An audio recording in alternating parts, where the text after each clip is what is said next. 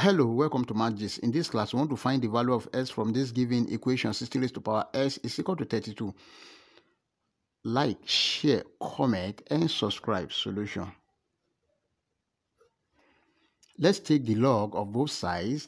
That is, log 16 raised to power s is equal to log 32.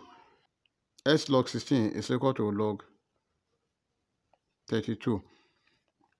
Then s log 16 is 2 raised to power 4 is equal to log 32 is 2 raised to power 5. Then divide both sides by log 2 raised to power 4 divided by log 2 raised to power 4 divided by log 2 raised to power 4. This one will cancel this s is equal to log 2 raised to power 5 over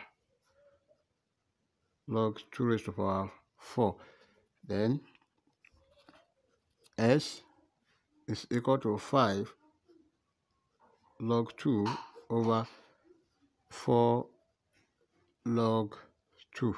This one will cancel this.